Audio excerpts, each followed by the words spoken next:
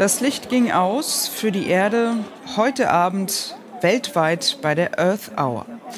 Auch am Brandenburger Tor in Berlin. Nur eine Friedenstaube blieb erleuchtet.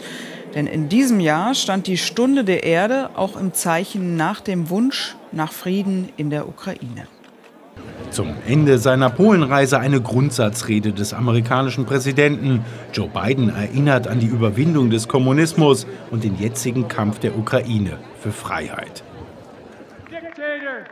Ein Diktator, der ein Imperium wieder auferstehen lassen will, wird niemals die Liebe der Menschen zur Freiheit auslöschen können.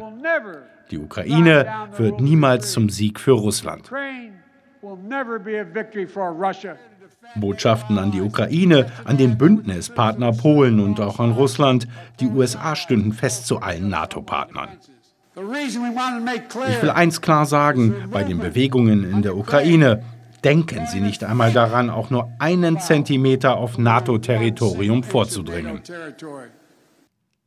Das hören auch die Polen gerne, die eine 500 Kilometer lange Grenze zur Ukraine haben. Und der Krieg könnte übergreifen, fürchten viele Polen.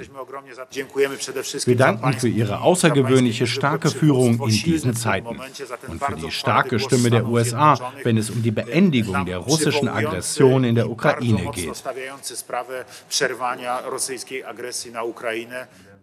Überraschend gab es am Vormittag auch ein Treffen Bidens mit dem ukrainischen Außen- sowie dem ukrainischen Verteidigungsminister. Themen waren weitere Sanktionen gegen Russland, vermutlich auch militärische Hilfe. Wenn es nach Polen gegangen wäre, würde die NATO nicht nur Waffen liefern, sondern sich militärisch noch mehr engagieren. Beim Kiew-Besuch vor elf Tagen hatte der Vorsitzende der Peace-Partei eine NATO-Friedensmission ins Spiel gebracht.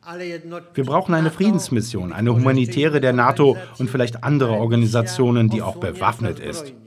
Das ging den USA und vielen NATO-Partnern aber zu weit. Gestern besuchte US-Präsident Biden auch amerikanische Soldaten, die im Osten Polen stationiert sind. Aus polnischer Sicht könnten dort statt der jetzt etwa 10.000 Soldaten die dreifache oder vierfache Anzahl sein. Auch heute wieder ist Polen direkt von der Politik des Kreml betroffen. Schon mehr als zwei Millionen Flüchtlinge sind aus der Ukraine gekommen. Biden besuchte einige von ihnen, lobte Polen für seinen Einsatz in der Krise und nannte Putin dort einen Schlechter. Schalten wir zu Kerstin Klein in Washington. Biden hat in seiner Rede auch gesagt, Putin könne nicht an der Macht bleiben. Wie wird das in den USA diskutiert?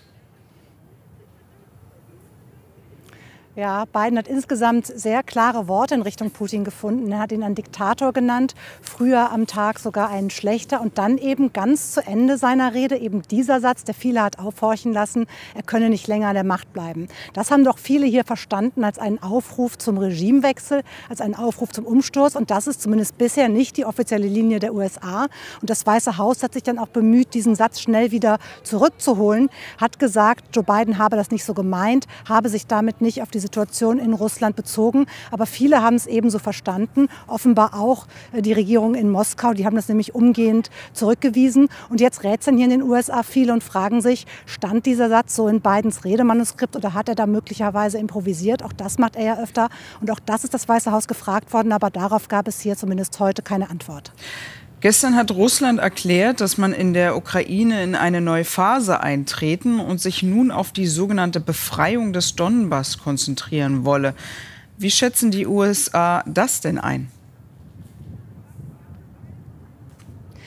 Auch danach ist Präsident Biden heute gefragt worden, wie er diesen Strategiewechsel bewertet. Und was er sagte, ist, er ist sich, ist sich nicht sicher, ob er da überhaupt einen Strategiewechsel sieht. Und das ist auch das, was wir aus dem Pentagon hier hören. Da heißt es ja, wir sehen hier das, was Russland beschreibt, nämlich keine Bewegung von Bodentruppen auf Kiew, auf die großen Städte, stattdessen verstärkte Kampfhandlungen im Donbass. Das sehen wir.